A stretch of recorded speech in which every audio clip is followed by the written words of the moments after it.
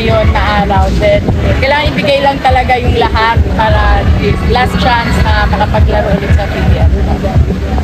Ano pa lang mga pinagkaabalaan mo nung time na wala ka, nawala ka sa PBL? Um, yung start ko nung January po, sa Comelec po ako. Yung sa liga po ng UNTV, nag-import po ako ng Comelec.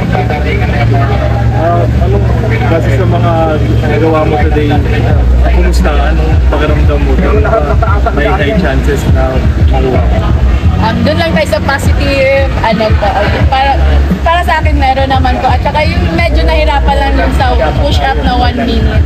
Pero yung galaw-galaw, part din na sa volleyball. Yung sa push up lang talaga medyo nahirapan. Pwede ko what happened last with, with next step?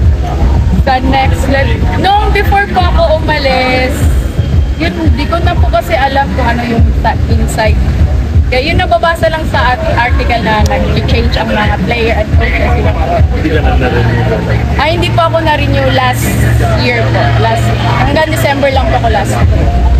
Ah, sabi mo nga, doon ka sa positive. So, ano mo ina-expect mo na maging result ah, from this ah, second chance? Sabi ka.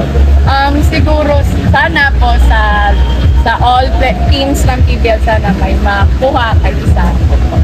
Edith yun nga, ito yung unang beses nga na nagkaroon ng parang ganitong combine.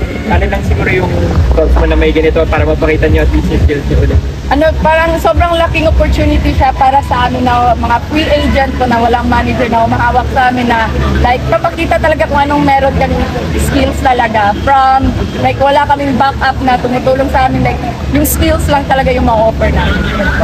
Judith, ano lang yung feeling na nung nawala ka ulit sa PBL, yung mga fans patuloy pa rin yung pagsuporta sa'yo na kunay ka raw gano'n? Sobrang thankful din po. Nung naglabas po ng ano, si PBL po sa free agent, yun din po, marami nag-message, marami nag-comment.